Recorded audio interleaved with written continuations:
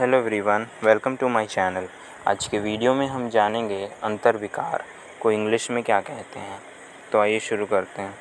अंतर विकार को इंग्लिश में इंटरनल डिसऑर्डर कहते हैं। Internal disorder. एक एग्ज़ाम्पल से समझते हैं इसे। Example he has an internal disorder disease यहाँ इंटरनल डिसऑर्डर का मतलब है अंतर विकार। उदाहरण, उसे अंतर विकार की बीमारी है। इसी के साथ आज के वीडियो में इतना ही। Thank you so much for watching my video